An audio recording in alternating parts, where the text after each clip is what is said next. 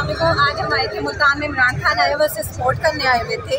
अब यहाँ पे आप ये देखें कि एक इंसान बाहर बैठ के हमारा मुल्क कैसे चला सकता है? वो वहाँ से ऑर्डर करता है, यहाँ की ये करप्ट है, ये वो है, ये ये है। भाई, ऐसे कैसे मुल्क चल सकता है हम लोगों का? ऐसे नहीं चलता है मुल्क। और जो नून लीग को सपोर्ट कर रहे हैं एटलीस्ट आप देखें तो सही आँखें खोल के कि मुल्क में हो क्या रहा है। ऐसे नहीं कि भाई पीटीआई की ये है पीटीआई के वो है। आई थिंक बहुत कम लोग अब नॉन लीग के सपोर्टर्स रह गए हैं। लेकिन जो है, अभी खुदा का वास्ता अकल पकड़ लें आप लोग भी।